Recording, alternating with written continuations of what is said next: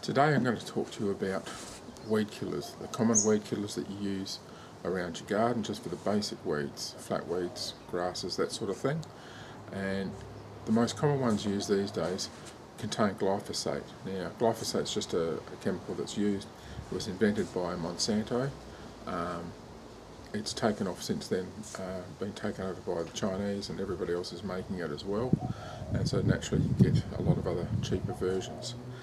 Um, one of those versions is, is something like this. This is a low dilution rate one. It's um, basically it's 100 grams per litre uh, concentration.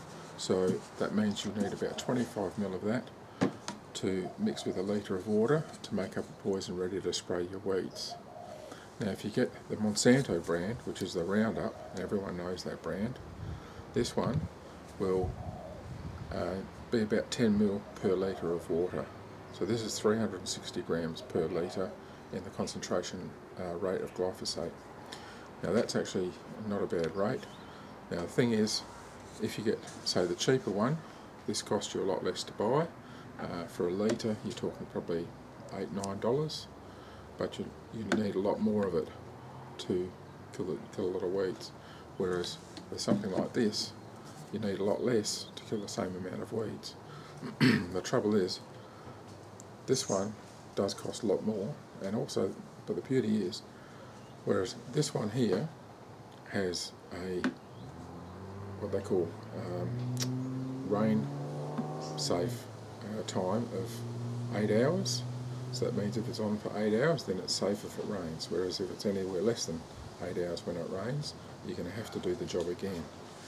However, this one here is rain safe in two hours. This one here is about $43 a litre. So you're looking at spending a bit of money to get a litre of this.